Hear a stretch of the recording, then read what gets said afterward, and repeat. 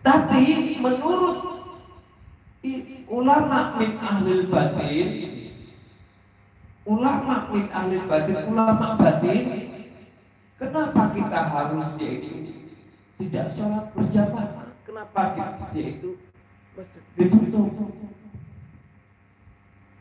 Bukan alasannya begini.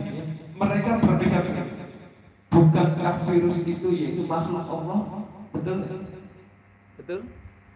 Bukankah virus itu yang mengendalikan Allah? Halo? Betul? Siapa yang menghidupkan yang mematikan? Allah. Allah.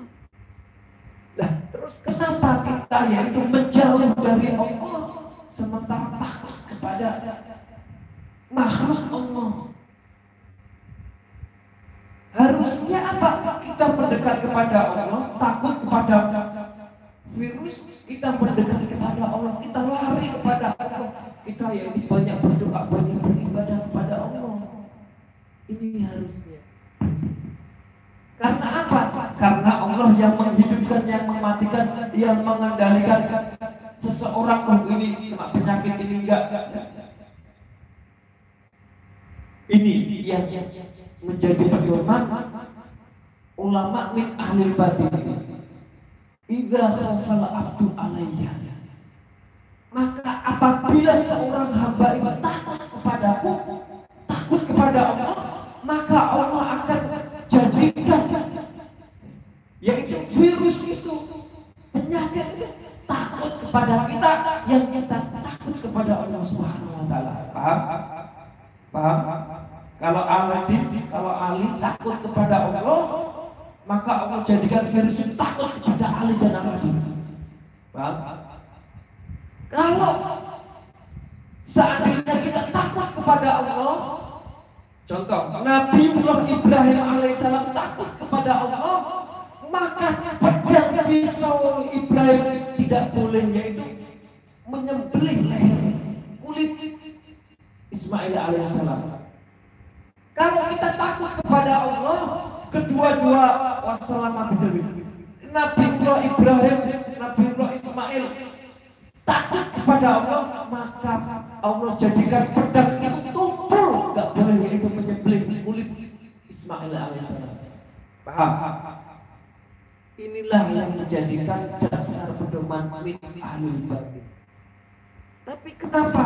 Yaitu kita takut malah tidak takut kepada Allah, kita takutnya kepada makhluk Allah.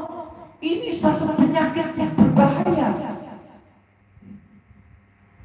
Ada penyakit yang lebih berbahaya daripada corona. Apa itu? Takut kepada makhluk Allah daripada takut kepada Allah. Kalau orang sudah tidak takut kepada Allah, inilah penyakit yang berbahaya. Maknanya apa? Kalau orang tidak takut oh ini debat, ini debat orang dizalim, betul ah, Kemungkaran banyak. Karena apa? Mereka tidak takut kepada Allah, tidak takut kepada Allah. Mereka yang merasa tidak diawasi. Dan mudah-mudahan dengan kita yaitu takut kepada Allah, kita berikhtiar juga dan pakai mas kita jaga jarak jangan apa namanya? Kita sholat jamaah tidak boleh tetapi oh hiburan banyak banyak. Lah itu. Jadi terbalik ya.